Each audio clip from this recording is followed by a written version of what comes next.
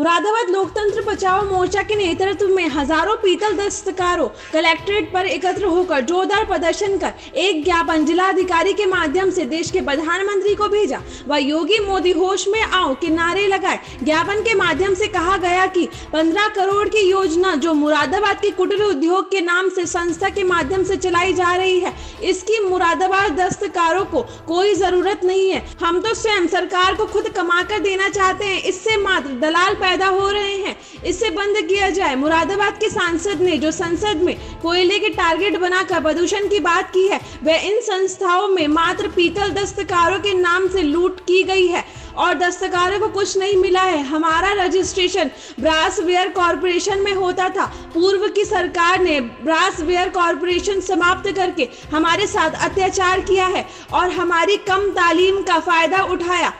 जी।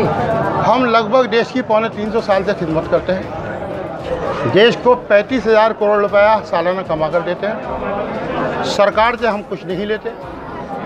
बिजली check in ने हमें लगभग 60 परसेंट बर्बाद कर दिया। आज हमारी जो फैक्ट्रियाँ, जो घरेलू उद्योग है, जो धारा 21 के तहत हम चलाते हैं, उसको ये कहना कि साहब ये अवैध है उसको सीज करने के बाद में प्रदूषण विभाग आज की तारीख में हमसे पाँच हज़ार रुपये महीना मांग रहा है और पुलिस हमसे तीन हज़ार रुपये महीना मांग रही है। जिस सनत दस्तकार के हाथ चूमने चाहिए थे, उस सनत दस्तकार के हाथ काटे जा रहे हैं। इसलिए आज हमने ये नोटिस दिया है। उसके बाद इस शहर की पूरी की पूरी सनत की हम हड़ताल करेंगे और हड़ताल करने के बाद आर पार की लड़ाई लड़ेंगे, क्योंकि जो मकान हमारा है, वही इंडस्ट्री है, वही मकान है। आज सीज करने के बाद हमारे बच्चे कहाँ स्कूल को जाएँगे? कैसे बच्चे हमारे पढ़ने जाएँगे? जब हमारा मकान ही सीज कर लिया तो हम कहाँ से निकले? ये हमारी एक मांग ये है। जज साहब भी अगर कोई सज़ा बोलते हैं तो पहले लास्ट अपील पूछते हैं, तेरी ख्वाहिश क्या है?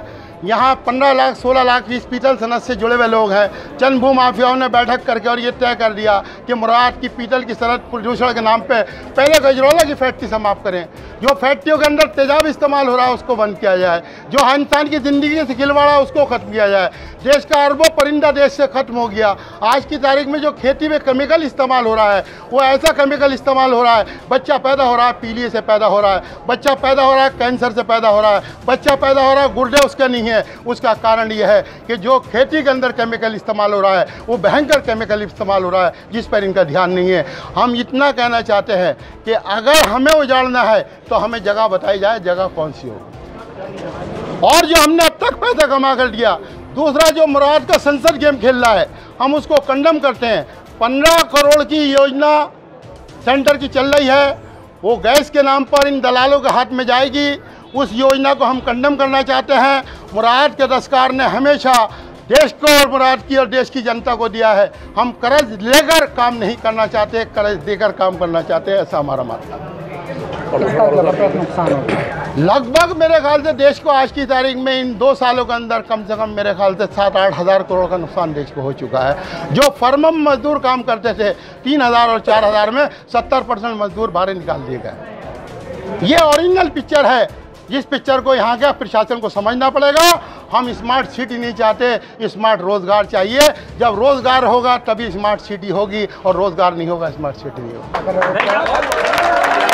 पहली लाश आप कचहरी से मेरी उठा के लेके जाओगे, मैं आंदोलन बना रहा हूँ। ये मैं आपको बता दूँ, मोहरी लाश को आप उठा के ले जा सकते हो, मुराद की सनत को नहीं जोड़ने दूँगा।